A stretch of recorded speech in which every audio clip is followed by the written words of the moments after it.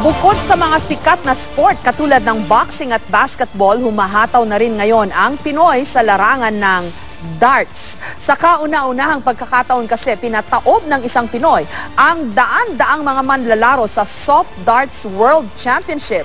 Live mula sa Maynila, si Cesar Apolinario may paandar. Cesar?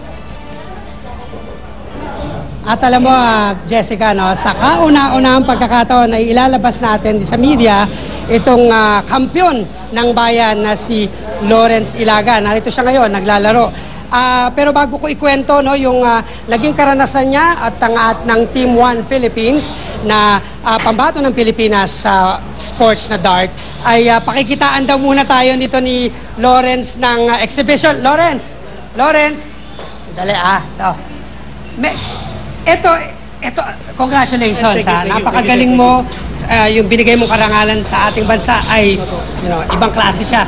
May iba ka pa pang alam bukod sa pakikipaglaban sa mga taga-ibang bansa sa larangan ng darts. Ah, p- pwede pwede akong mag-exhibition ngayon. Sige. Ah, pakita ko yung Kaya? exhibition. Kaya, Ano kaya. yan? Anong gagawin mo? Ah, yung do- yung double Ah, double sige. darts. Let's see. Tingnan lang natin.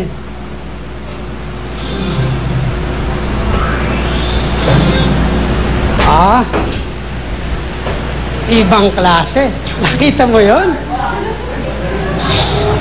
Ibang klase. Meron pa bang iba? May... Sa kamatis naman. Kamatis. Sige, kamatis daw. eh, Kamatis.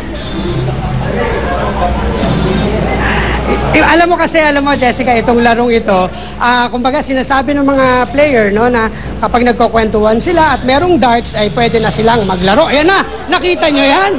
Ibang klase. Nag, nagulat ako doon. Nag, congrats! Anyway, Jessica, dahil napakita na natin ang exhibition, narito ang ah, eksklusibo nating ulat tungkol sa ating ah, pambansang dartero o manunusok ng Pilipinas. Sa The World Soft Tip Darts Championship na ginanap sa Las Vegas, Nevada, pinataob ng Pinoy na si Lawrence Ilagan ang may 300 kalaban mula sa iba't ibang panig ng mundo. Isa lamang si Lawrence sa dalawang Pinoy na nakapasok sa torneo. Pero di pinalad ang California-based na si Nico Di Pailos. Kwento ni Lawrence na tinaguri ang The Gunner. 300 manlalaro raw ang naglaban-laban. Doon sa 64, nag-34 ang Japanese Oo. Na pinili doon yung pinakamagaling, Oo, di ba? oo. Yun yung nakatapat mo. Mm. Kamusta naman? Ah, Ah, mahirap kasi Ang galing ano eh. mo. Practice lang talaga tsaka Siyempre, um, ito na yung trabaho ko eh. Trabaho ko araw-araw, ito na yung pagmulat mata ko, darts na kagad. sa the World Soft Tip Darts Stage 6 Championship, electronic darts o soft tip ang gamit. Pero kahit wala nito sa Pilipinas, pinataog pa rin niya si Yuji Eguchi ng bansang Japan sa finals. Pre uh, preparasyon ko bago pumunta ng Las Vegas, nagpa- nag-practice ako sa sa Sa steel. aba oh, sa steel tip board. Sa Ito, tulad nito, itong abaka. Okay. Mm, noon, ah, and then ah, one day before ng laban ko, nag-practice ako sa Las Vegas. Is- isang gabi. Yun ang Isang naging gabi? oh, isang gabi, yun ang naging preparasyon. mas nakakakaba yun. Oo, lahat ng pressure, oo. Na, kasi talagang ah, kailangan ko manalo kasi ako independent champion. Actually, dito sa atin wala tayong machine. Exactly. Kaya nga ba't ganun Wala tayong machine, tapos hindi supported na Oo nga. Ah, puso na lang siguro, pusong Pinoy. Kapuso. Kapuso. Kapusong Pinoy. Nitong Agosto, si Lawrence rin ang nanalo sa Stage 5 na nasabing kompetisyon matapos talunin ang nooy number 1 na si Paul Lim. Dito ang Team 1 Philippines na kinabibilangan ni Lawrence the Gunner din ang nakasungkit ng Team Championship Event Trophy. Sa Malacca Open Steel Tip Darts Championship naman, isa pang tournament na ginagamitan ng bakal na dart pin steel point at abaka board na ginanap sa Malaysia nitong Agosto, tatlo ang tropeyong inuwi ng Pilipinas dahil pumangalawa si Loren sa single at sa doubles event. At pumangalawa rin ang Team 1 Philippines sa team event. I'm sure napapanood mo naman yung mga nananalo sa ibang bansa, di ba? After nilang manalo, may courtesy call sa presidente. Nakaapa ka na ba sa Malacanang after mong manalo ng dalawang taon, di ba? Oo. ah, Nakaapa ka na. wala pa. Hindi ka naiimbitahan pa. hindi pa, hindi pa. Malay Wala mo, pa. ito na yung pagkakataon, di ba? After natin ipalabas Sana na nga po. Sana nga. sa buong mundo ang mga Pilipino ang kinakatakutan eh. Lalo na sa Asia, hawak na natin ang Asia eh.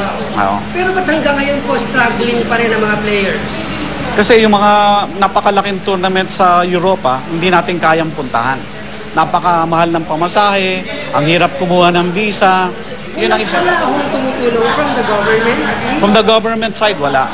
Sa labimpitong taong paglalaro ni Lawrence ng darts, sampung tropeo rito sa Pilipinas at labing limang medalya at tropeo ang nasungkit niya sa ibang bansa. Alam mo, Jessica, yun lang ang nakakalungkot kahit ah, napakagagaling ng ating ah, mga Pinoy na dartero, no?